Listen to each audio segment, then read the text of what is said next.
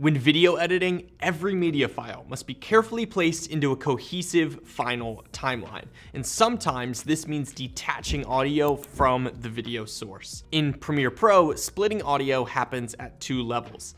First, separating the individual tracks within a multi-channel audio clip, and second, detaching those clips from the video layer.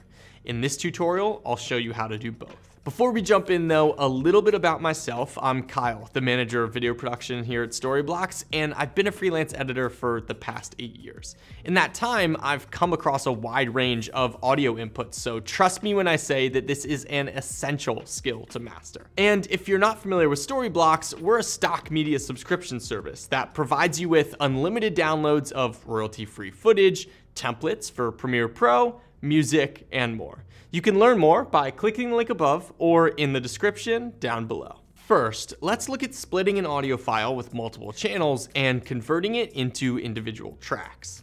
If I take this audio clip of birds chirping and bring it into my timeline, you can see that it's in stereo with the left and right channels visualized by two audio waveforms. You typically don't need to split a true stereo audio file. However, if you've recorded multiple audio sources, such as an onboard mic, lavalier mic, and shotgun mic, and your camera saved them as a single multi-channel audio file, you'll need to split the channels in Premiere Pro to edit each source individually. To do this, go to the audio file in the project panel, right click and select modify audio channels. In its default stereo format, the left and right channels are attached to a single clip. Instead, change the preset to mono. Number of audio clips 2 will then correlate to the left and right channels being displayed as independent tracks. If you're working with a multi-source audio clip, this number correlates to the number of microphones used. Click OK and you'll see the track split into left and right channels on their own tracks. While the two tracks are isolated, if you try to move them, they still move as a single clip. Unlink them by right clicking and selecting unlink. Now you can move these two audio tracks independently. Next, we'll take a look at splitting audio from a video, which is a common practice when you're working with already rendered footage. With the clip in your timeline, try to move the audio. You'll see the video moves along with it, and there's two ways that you can fix this.